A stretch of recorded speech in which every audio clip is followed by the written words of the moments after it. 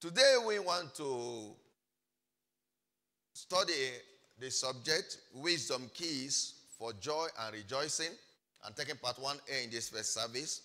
Wisdom Keys for Joy and Rejoicing. Remember, this is a pre-Shiloh encounter service. So any good thing can happen, and whatever expectation you have come here with will return with you as a testimony. It's also a prophetic entrance service. Today is a trumpet day, so dance, rejoice before the Lord, and He will be glorified. And you will return with your testimonies. Wisdom keys for joy and rejoicing, part 1a. Please come with me to Philippians chapter 4, verse 4. Philippians chapter 4, verse 4. We're all going to read together. Can we read now? One, two, go. Rejoice in the Lord always. And again, I say rejoice. Can you help me preach that message to your, to your neighbor, by your left, by your right? Rejoice in the Lord always. And again, I say rejoice. To another one, rejoice in the Lord always. And again, I say rejoice. In case they didn't tell you well, tell yourself, rejoice in the Lord always. And again, I say rejoice. God is not a stammerer. And if anytime you see him repeating a, a thing, it's because of emphasis. The issue of rejoicing is highly needed today. Joy seems to have dried up in the hearts of many. And when joy dries up, everything dries up, according to Joel 1:12. People are going through a lot of tensions, plus tension, plus tension that have become hypertension. Going through challenges of life, burdens. And so you see, joy is lacking. When you see some people, their faces are too straight. Some people, you're even afraid to greet them good morning because of the way their faces look. But hear me, precious people of God. No matter how life seems unfair, no matter how there seem to be threatening challenges, your health, your marriage, your business, your career, your finances, your relationships, your academics, the prescription of the master is rejoice. And again, I say rejoice. Maybe as I speak now, you are in a toxic relationship or environment. Everything is choking. Please know that this way out is to rejoice. If you don't understand it, ask Paul and Silas. Even in prison, prison is not a place to rejoice, but they were singing and rejoicing. And that was the way out. In the land of captivity, they asked the Jewish boys to sing the Lord's song. They say, How can we sing the Lord's song in a strange land? But they didn't know. Had they sang the Lord's song in a strange land, they could have been free. Please, night and day, always rejoice. Any day you don't rejoice in the Lord is a wasted day. And I enjoy everyone under the sound of my voice to take personal responsibility on this. It's a non transferable responsibility. Nobody will rejoice for you, just like no one goes to the convenience for you. There's no day you will get so tired. You say, I'm hungry, but I'm tired. Honey, come and eat for me. You eat for yourself. The same way, nobody had the responsibility to ensure that you rejoice. You have the responsibility. Say with me, I hear. So rejoicing in the Lord is a choice. It's not a gift. Don't say that pastor, he has a gift of joy and rejoicing. No. It's a choice. And it's a choice of the wise. Every wise person makes this choice. To be grateful or to complain are both choices. And you decide which side you fall into. Look at Genesis chapter 1, 1 to 3. So you are not a first person to experience a mishap.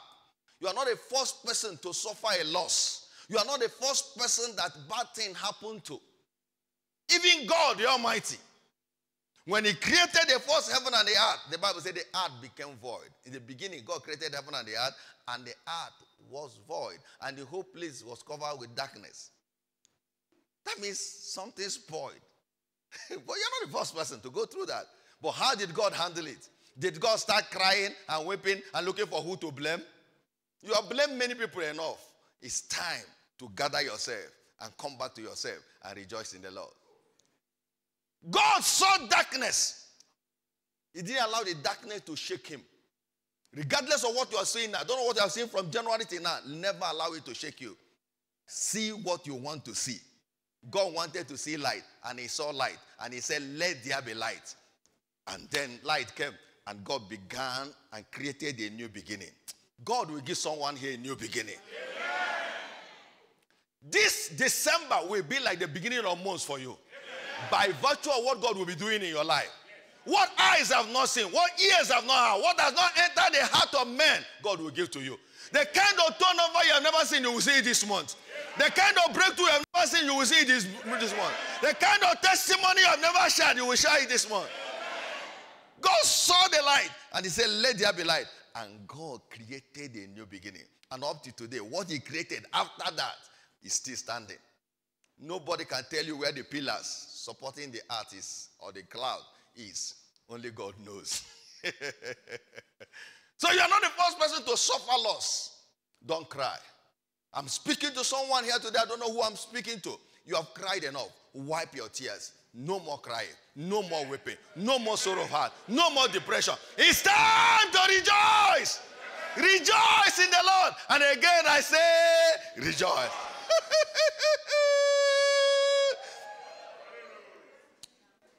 it's time to rejoice. No wonder a songwriter wrote and sang, I will rejoice, oh, I will rejoice, oh, I will rejoice, oh, in the Lord. No matter what I see, I will praise the Lord. I will rejoice, oh, in the Lord. No matter what you see, please rejoice in the Lord. Because that's where your help is. That's the way out. Glory to God. Habakkuk chapter 3, 17 to 19. Because somebody will say, Pastor, why are you talking like this? Because your own is not like my own. No problem. Let's go to Habakkuk. Although the fig tree shall not blossom, Habakkuk 3 17 to 19. Neither shall fruit be in the vines, the labor of the olive shall fail, and the fish shall yield no meat, no breakthrough, no, no testimony, nothing was working. The floor shall be cut off from the fold, and there shall be no head in the stores. Yet, say me, yet. Yes. Anytime you see the word but or yet in English language, it means what I'm about to say is more important than what I've said. Yet, I will rejoice in the Lord. I will joy in the God of my salvation. Yes, I went out. I opened my, my business. I didn't sell. Yet I will rejoice in the Lord. Yet somebody promised to give me money. It didn't come through. Or somebody promised to give me a contract. It didn't come through. Somebody promised to marry me. It didn't come through. I will rejoice in the Lord. I will rejoice. Yet I will rejoice in the Lord. I will joy in the God of my salvation. Why? Verse 19. The Lord God is my strength. He will make my feet like iron feet, and he will make me to walk upon my high places. Now, hear me. What may look like disappointment now is actually disappointment. Look at the sound. Disappointment sounds disappointment. D S D I S appointment sounds dis T H I X appointment. So inside that disappointment, if you check it, there's an appointment inside. Check it. Spell disappointment. There's appointment inside. Spell disadvantage. What looks like disadvantage? There is an advantage inside. what looks like an opposition now? There is a position there. Opposition is a proof that you have a position. So stop crying.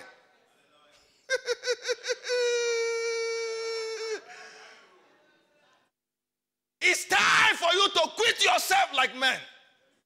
Not any small thing you are crying, any small thing you are weeping, any small thing you are saying, the witches are against me. Ah, no, no, no, no, no, no, no, no. You don't know who you are.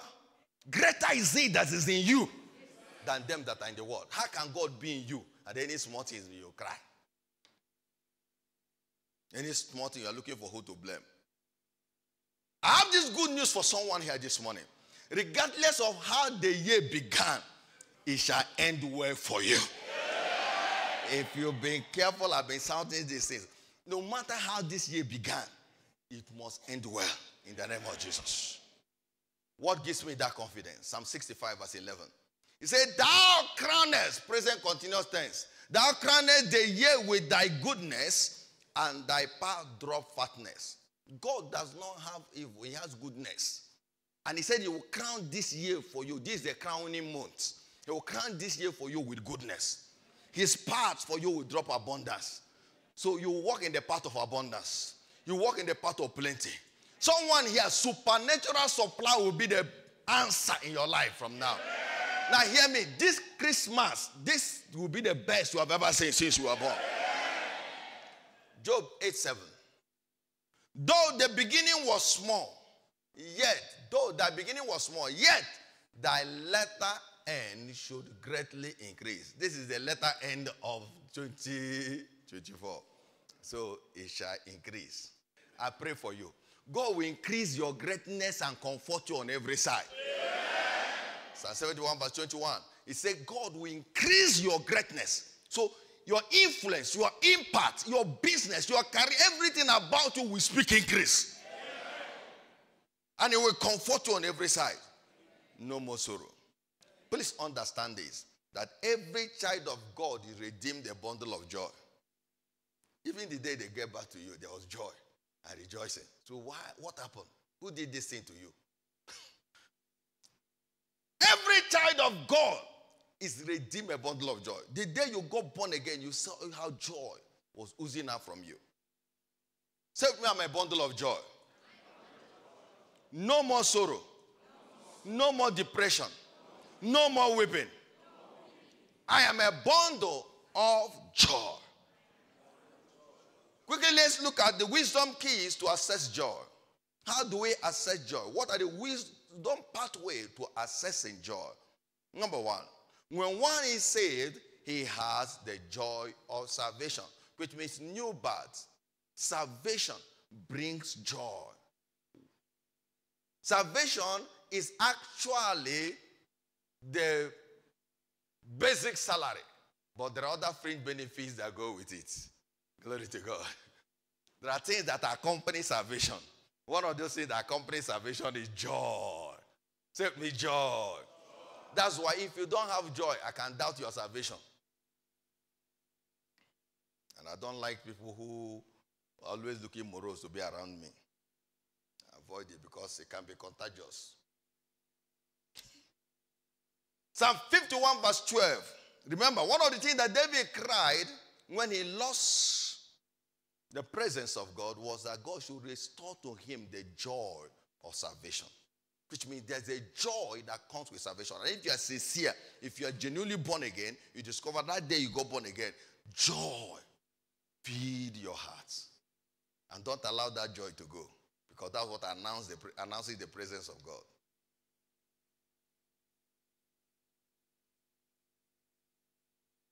Joy is a fruit of the Spirit. Galatians 5 22. But the fruit of the Spirit is number one, love. Number two, joy. Number three, peace, long suffering, gentleness, goodness, faith, and others. So, joy is a fruit of the Spirit. The Bible calls it the spirit of joy. Isaiah 61, verse 3. To appoint unto them that mourn in Zion, to give unto them beautiful ashes, the oil of joy for mourning the garment of praise for the spirit of heaviness, that there might be called the trees of righteousness, the planting of the Lord, that he might be glorified. God will turn your mourning into dancing. No more depressions, no more oppressions, no more sorrow of heart.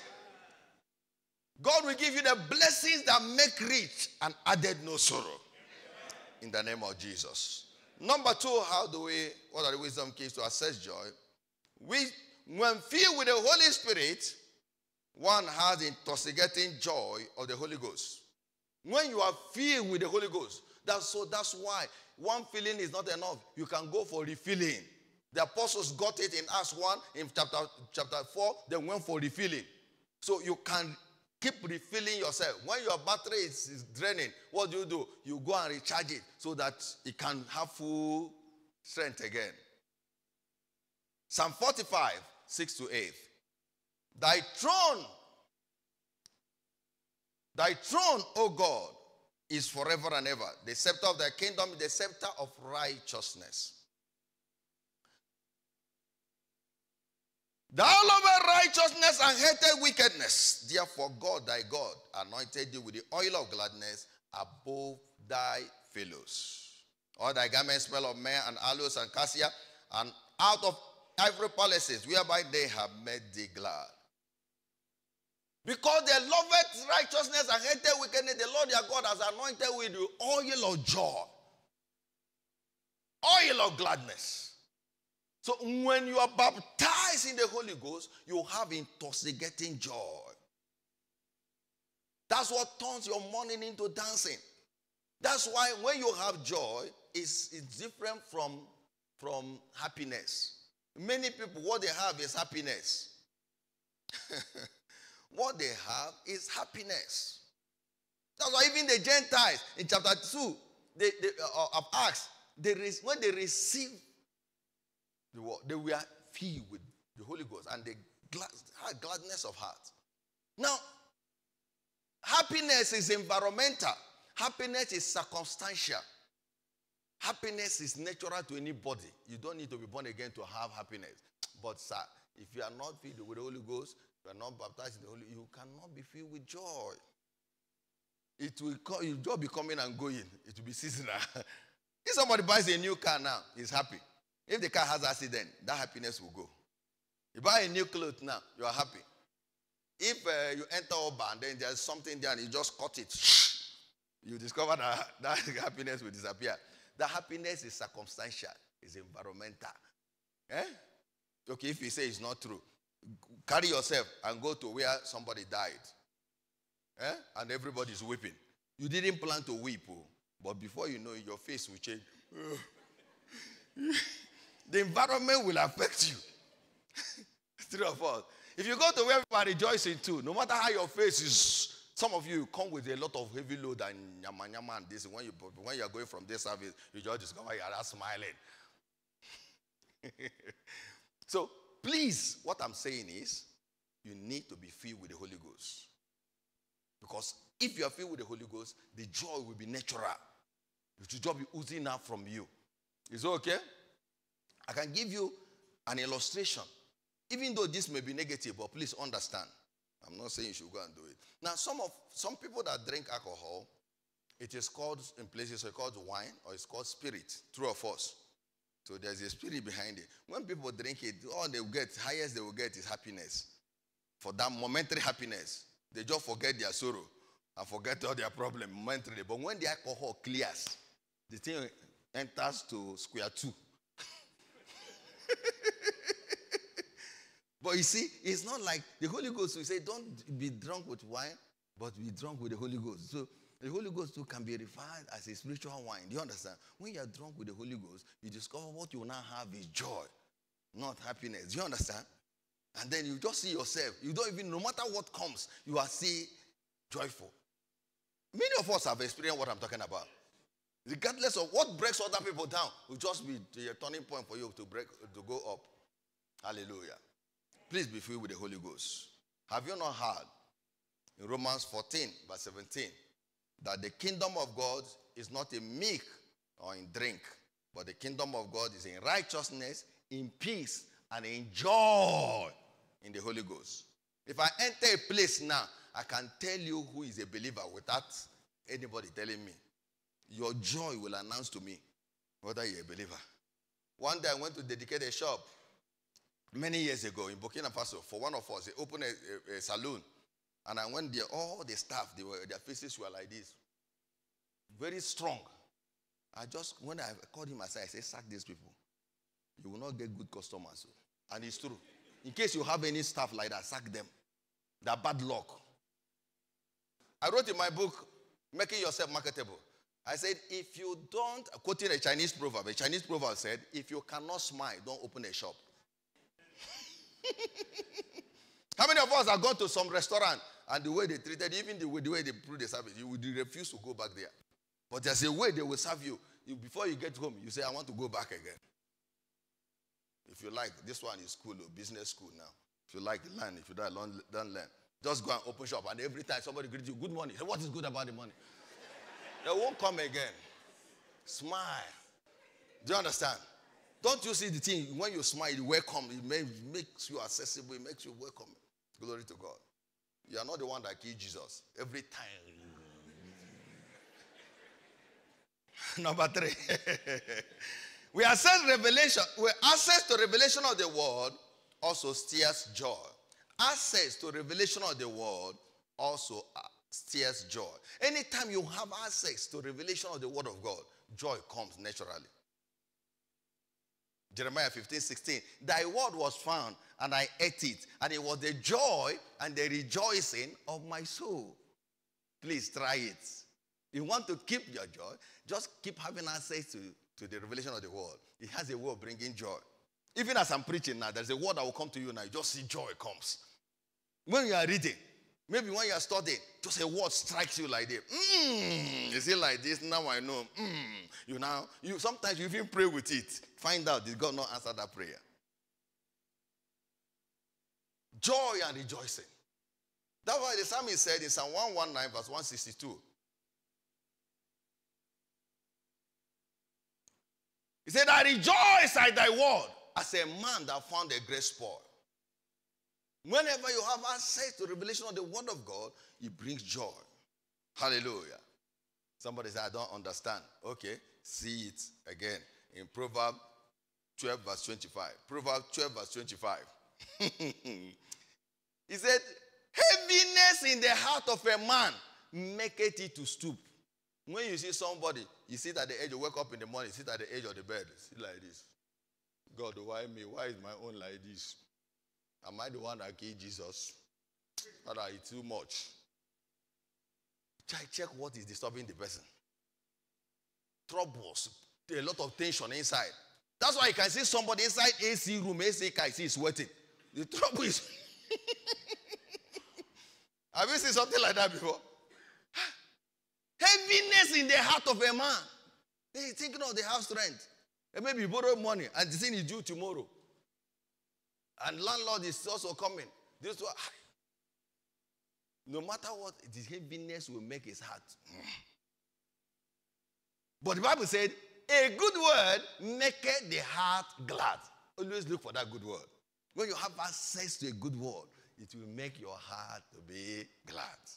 I rejoice at thy word as a man that found a great spoil. Say with me, I hear. You know, one thing about principles are that they make, they make life predictable. Please follow these things. Quickly, what are the dividends of joy? What are the dividends of joy? What are the benefits? What do I stand to gain when I have joy? Number one, joy provides continuous access to revelation. Joy provides us continuous access to revelation. Isaiah 12, verse 3. He said, we, Therefore, with joy shall we draw water out of the wells of salvation.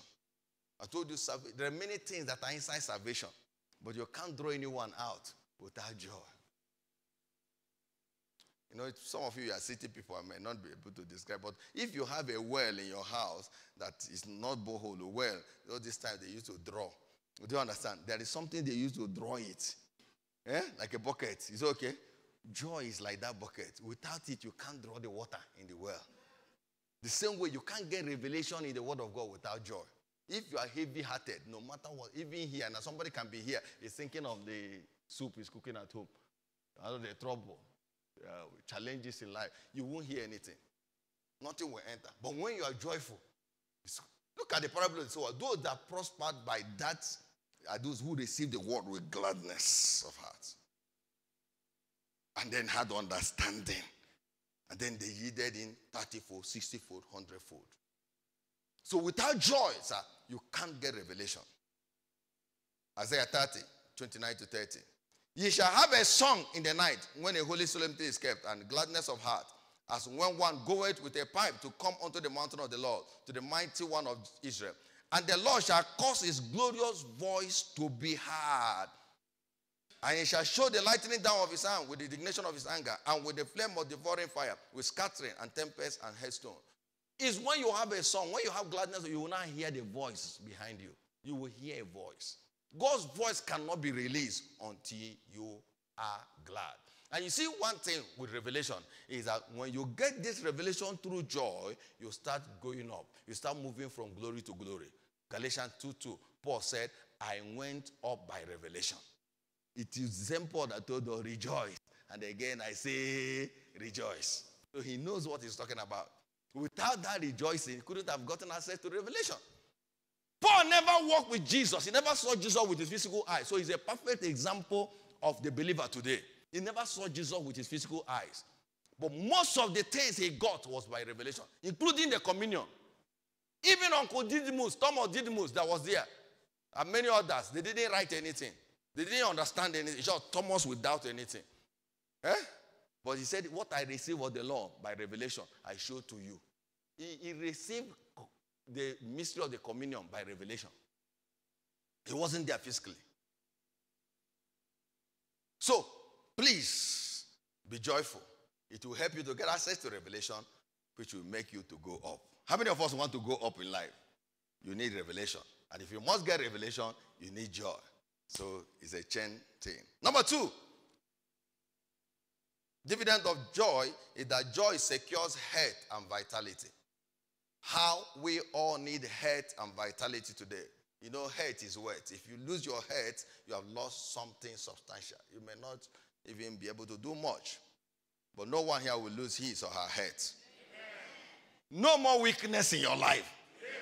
Amen. No more breakdown. Every dying organ is resuscitated right now in the name of Jesus. Proverbs 17 22. The Bible told us that a merry heart, a joyful heart, doeth good like a medicine. But a broken spirit dries the bone. And you know, the bone is where your, your bone marrow is. That's where your blood is from. And the life of the flesh is in the blood. So, so when your bone is dry, your life is dry, my brother. Have you not seen some people check it, check it every time? Come to dry enough. no joy. Joy do it good like medicine. I used to tell people, hmm, what chloroquine can do, queen can do it. Just wake up every morning, take one swallow of one capsule. Mm, be joyful. you have to do another one. Mm, be joyful. In the night, take another one. Glory to God. There's no drug in this world that doesn't have uh, overdose or side effect, but joy doesn't have side effect. The more joyful you are, the better. Glory to God. Help me tell you never again be joyful. Did you understand what we are saying? Joy will give you health and vitality. So, one way, if you don't want to break down, Many of the tension, many of the hypertension people are going through is tension plus tension plus tension plus tension plus tension. It becomes hypertension. The same way too, you can have joy, joy, joy, joy, so you'll be hyper joy. I've got joy, joy, joy, joy, joy, joy. Oh, in my life. So you, you can have joy too, plenty joy. The same way. So no more sorrow. No more heaviness of heart. Amen. No more pains. Amen. Have you discovered that it takes more muscles to frown your face than it takes to smile? Medically, it's so. Hmm? To stop carrying your life as if all the whole load in this world is upon you. Relax. Be joyful. Some don't even, they don't have, they don't rejoice with their family, they don't rejoice with anybody. In the office, they are quarreling, in service unit, they are fighting, in anywhere they are, problem. Why must it be you? Anywhere you go, there must be problem. Remember in life, you'll be remembered for two things the problems you solve or the problems you cause. so which one? Which side are you? You come home now, all the children are dodging. Right, daddy, daddy, daddy is back. Some will fly like they boom, boom, back.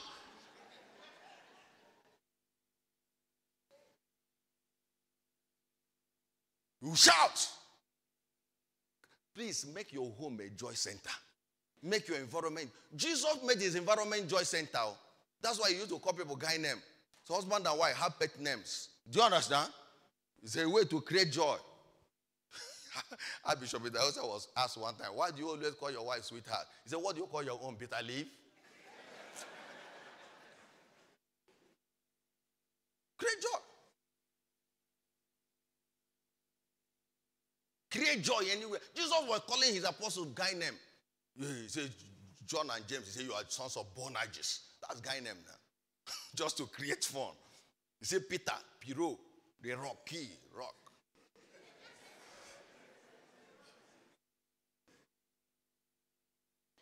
Please, anywhere you go, may your presence bring joy.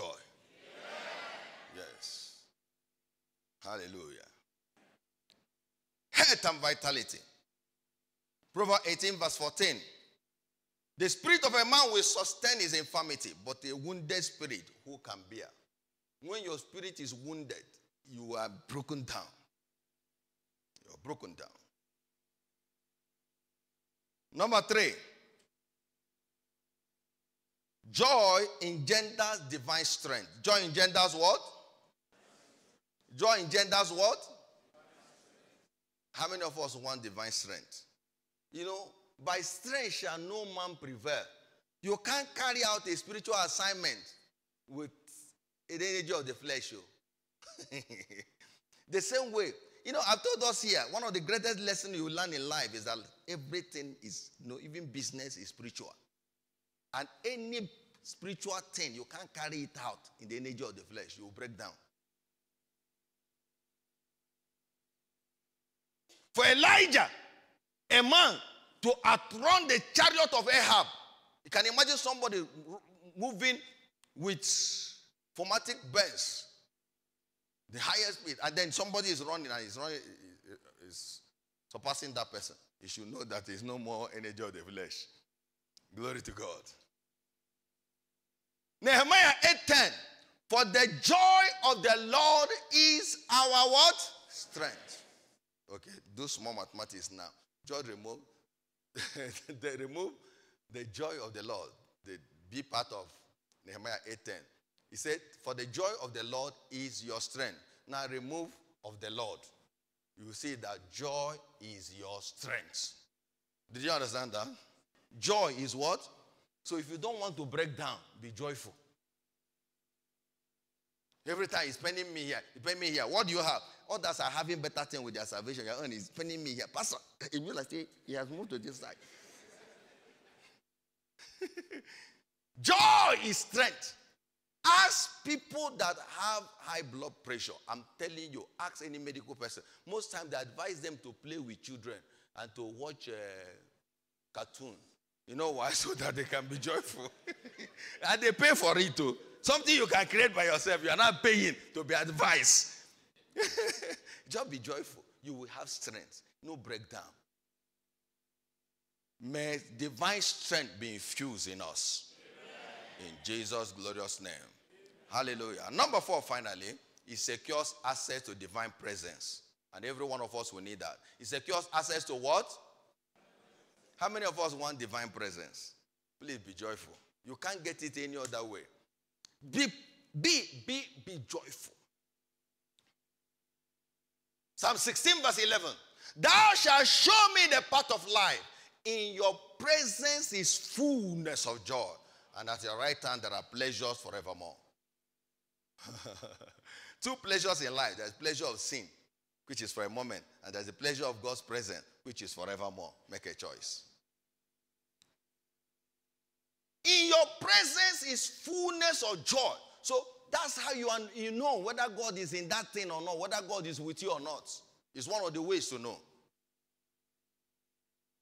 Any step you want to take, if you don't have peace and you don't have joy, sir, God is not there. I can give you the results. God is not there. They bring a proposal to you. Say, this business, if you do it now, you buy the whole South Africa. Good. check your heart. Do you have joy? Do you have peace? If you don't have it, God is not there. Run. It will bring sorrow. Wrong. Some a lady may look so beautiful, everything package, both stretch, eh? nest. This one, he say, God say somebody show you say this is the person to marry. I beg, check your heart. If you don't have joy or peace, run. God is not there. But something may look somehow. It may look somehow. But as you want to, anytime you even want to say, I'm not going to take the step, I'm not going to do it, you just say that you are filled with joy. You feel with peace. God is there. If you are following the school, say I hear. Glory to God. Quickly as I close, how do I keep my joy alive? Because some get joy today, some they enjoy the joy of their salvation. When they got it in church, they got saved in church, they got the deposit of joy of salvation. When they got home, they, they took their life back and lost the joy. so, how do I keep my joy alive? If my joy must not dry up, how do I sustain my joy? Number one is to keep your faith alive. Keep your faith what? Alive. In as much as your faith is alive, your joy will be alive. But when you become hopeless, because faith, according to Hebrews 11 1, is the substance of things hoped for, the evidence of things not seen.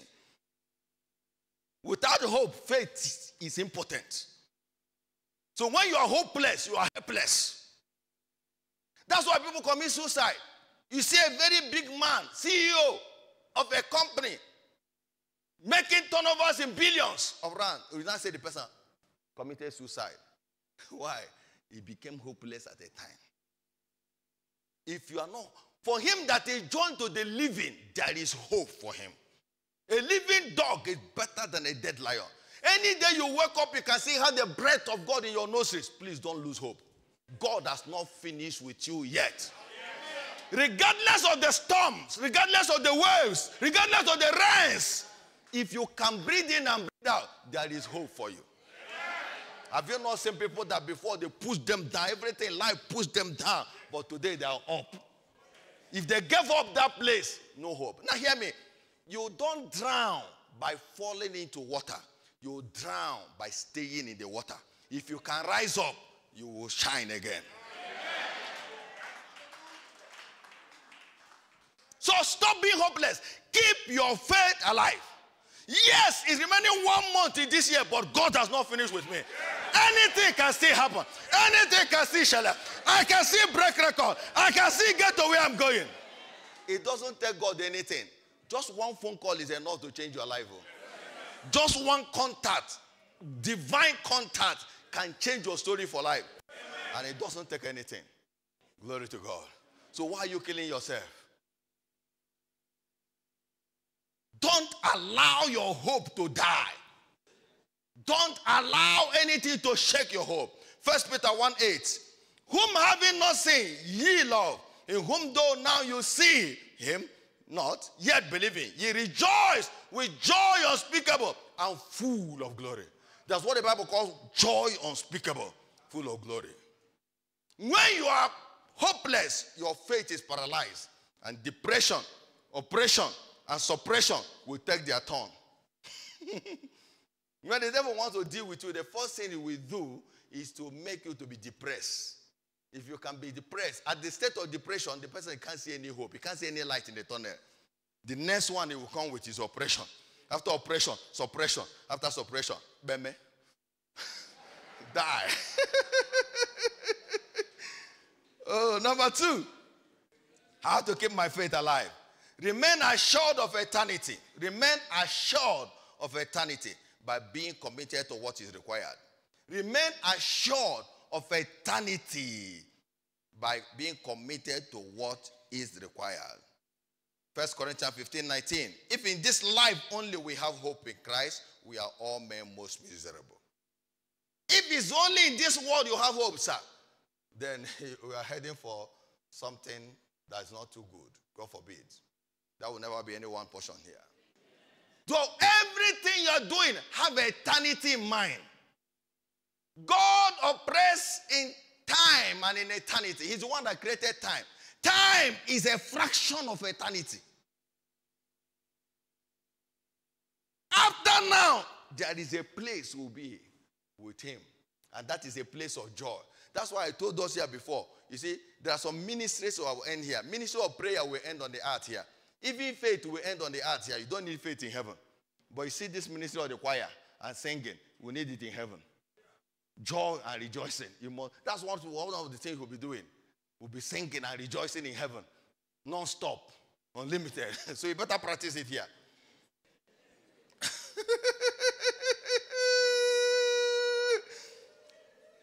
Look at Jesus. Hebrews 12, 1 to 2. Wherefore, seeing ye are also compassed about with so great cloud of witnesses, lay, let us lay aside every weight and the sin which doth easily beset us. And let us run with patience the race that is set before us. Looking unto Jesus, the author and the finisher of our faith, who for the joy that was set before him, you could see eternity. You could see the end. Joy was set before him. He endured the cross, despising the shame, and he sat down at the right hand of the throne of God. Many of the things that keeping many people poor today, keeping people down, is they don't understand the law of delayed gratification. They want everything now, now, now, now, now, now, now. They want to enjoy everything now, now, now. Wait is a process of income plus consistency and time, just like life. Things happen in the process of time. No. Jesus saw the joy before him. That's why they slapped him, they spit on him, they mocked him. he said, These people don't know. I know where I'm going. You can't keep me here. That's why you see white people, people criticize them, they don't respond. They know where they're going. Now, I want to ask you a question. Please, I come. If this is 100 meters dash, eh? 100 meters, do you know 100 meter dash? 100 meters. Eh? Yes. I say, oh, your mass. Okay, guess, oh, your mass. Get set, go. You are not running. And somebody says, stupid head. See your head. If you hear it, you will not make it. I didn't say if you turn, no. If you had that thing, eh? You will not get there. not to talk of you turn. Not to talk of you not say me, a whole me. You are talking. Can you imagine that? So why are you distracted by what people are saying or what they're not saying? People are entitled to their opinion. That's why it's called the opinion. They have the opinion. You can't stop them. They have the opinion. Don't be distracted. Focus on where you're going. Focus on the price of the high calling. You press towards the price of the high calling. Don't allow anything to stop you. And I say, Pastor, is it what they're talking about me? If you see what I don't Pastor, I don't understand. You won't get there. Now hear me. If I want to stop this man, somebody was asked, if you are devil, what will you do to stop somebody? One of the things he says is distraction. Distraction. It will distract you from getting to where you're going. He may not be wicked, just distract you. Just be doing other things. You'll be replying to the complaint. And most of the time, you know, critics, they don't go anywhere. That is their ministry. Allow them, let them do their ministry. Be making progress. Amen. That's why the Bible called them backbiters. They don't buy the front, they buy the back. So if you don't want them to bite your back, keep making progress, keep going. A time will come, they want to bite, they can't reach you. They say, These are children of the Most High. Rise on your feet.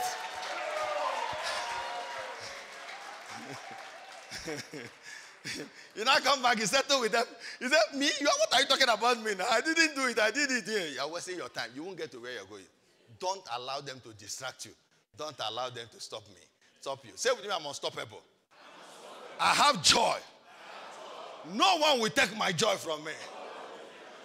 I pray for you. Every joy killer will never enter your life again. you know, there are joy killers, some unfriendly friends. You tell them this is what God, God is saying I should build build an estate now. Is it you? Has anybody ever done it in your family? Ah, you want to throw your money away. Don't try it, oh. They want you to be there. Such people will not enter your life. Are, are you getting me now? Anyone afraid of your future should never enter your life in the name of Jesus. You know, sometimes your future can intimidate people. So that's why they talk against you, they criticize you, they fight you, they make sure you to put brake on your progress. But tell them, you can't stop me. Jesus, for the joy that was set before him. He said, if you like, beat me, laugh at me, mock me, I'm getting to where I'm going. You will get to where you're going. And this year will end well for you.